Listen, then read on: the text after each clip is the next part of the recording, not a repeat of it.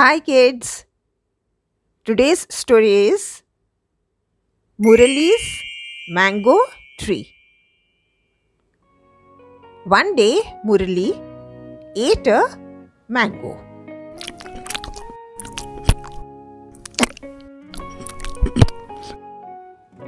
He threw the seed behind his house.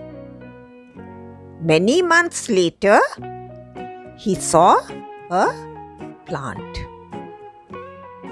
He watered the plant every day.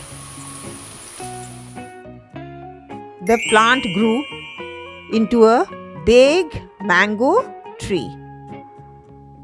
Every summer, many mangoes grow on it.